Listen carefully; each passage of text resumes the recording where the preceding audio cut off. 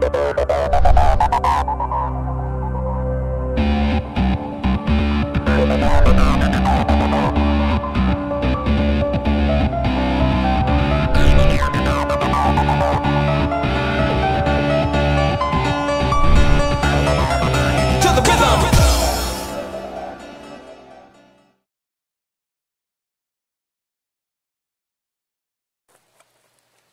what's up guys?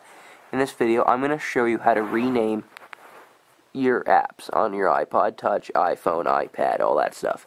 You do have to be jailbroken for this, unfortunately, for you guys that aren't. If you're not, I don't know why you aren't jailbroken. It is so much better. I know people say like, oh, it's slower and all that. Um, check out this video I put in the, I'll put a link in the top left corner. It basically shows you how to speed up your iPod. Sometimes I think it's faster than, you know, not being jailbroken. But anyway, for this one, I'm going to show you how to rename your apps. So, for example, um, what do I want to rename? So right here, the score mobile. I just want to rename it the score. I'll click on it, and this will pop up, and I can just take away mobile. So that's basically what this app will be able to do. So, one second, the phone's ringing. Alright, sorry about that. So anyway, open Cydia.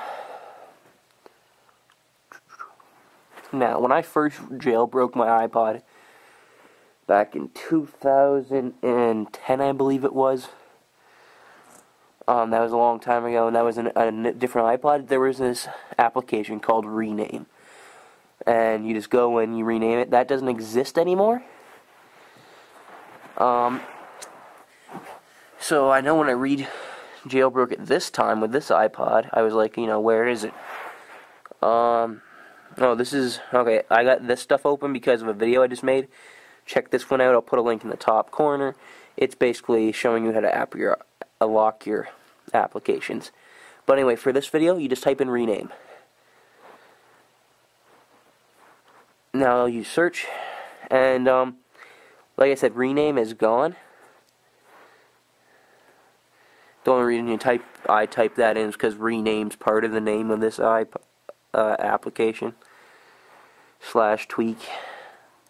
So there is rename too. I have not tried that yet. It's an app, which I didn't really want another app. This one is a tweak, which there's no app to it. Up in the top corner, it'll say install. You click on that. A new page will open. It'll say confirm in the top right corner. You click on that. Downloads. And I can't remember if you have to respring or not, but you might have to. But anyway, when you're done, um, you can then rename your applications. Sorry about that pause yet again. Um, my mom started coming upstairs and rummaging through things. But basically, all you do is you hold down an icon, turn it into wobble mode, click on it once, wait, and it will come up. You change it to what you want, and you click on apply. And then you just gotta click on the home button, and it will get out of wobble mode.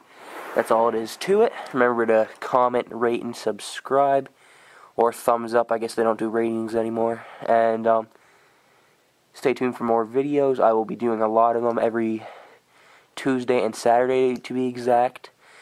I'm going to be doing a giveaway soon. No clue except for it's an Apple product. And check out my other channel, Adam Tech Talk, where I do programming tutorials. And I'll be doing a new channel soon where I talk about losing weight. Thanks and bye.